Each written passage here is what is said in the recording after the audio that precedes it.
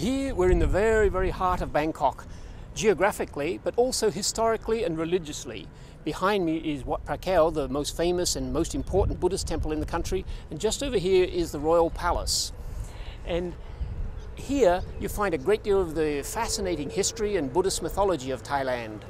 And, and a visit here is a challenge, a real challenge to observe and understand what you see because there is just so much here.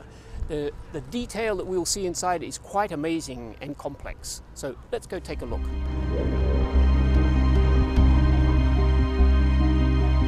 Enter Wat Phra Kaew, and you immediately run into these fantastic giants. These are characters from Thai Buddhist mythology. The 12 of them here, all guarding entrances, have been opted into the service of the Buddha.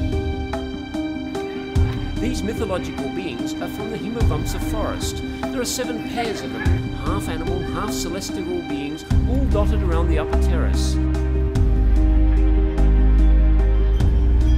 The style of this chedi is based on three famous ones in the ancient Thai capital of Ayutthaya. In the 17th century, Ayutthaya was described by European travellers as being as large as London and the most beautiful city in the world. Wat Phra and the Grand Palace behind us, it's just a short trip just across the river to one of Bangkok's oldest and most famous temples. It's Wat Arun, the Temple of the Dawn. It's fascinating and it's interesting and it's beautiful. It's one of the oldest temples in Bangkok, and in fact, it's even older than the city itself. It dates back from the era when the Thai capital was in Ayutthaya and the Thais were fighting with the Burmese.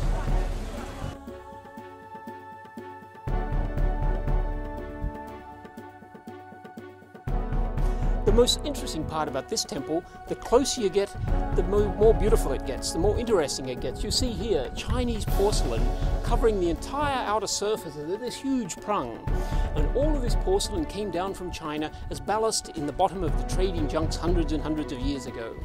This giant Buddhist spire behind me, called a prang, tells us a great deal about the complex cultural origins of the Thais. The prang itself is in Khmer style, with the Khmers being the original rulers of Southeast Asia, the entire territory where the Thais now live, while the shape is derived from Hindu mythology. It's a representation of Mount Meru, or the center of the universe, and it's from Hindu mythology that a great deal of Thai mythology derives. So now, just before sunset, we leave the Temple of the Dawn, but just across the river, right in the heart of old Bangkok, is another of this city's great temples. This is Wat Po, or the Temple of the Reclining Buddha. It's another fascinating old temple, and we have just enough light to take a look. This is Wat Po. It's the home to the famous reclining Buddha in Bangkok, one of the oldest temples in the city, and also one of the most interesting. And so, even if it's uh, right in the middle of the tourist map, everybody really should see this uh, see this temple. It's, it's actually really quite common that the monks will come up and uh, talk to tourists. They like to practice their English and uh, show them around the temple. Uh, it happens very, very often, and it's, it's a good uh, way to see and learn something about the temple.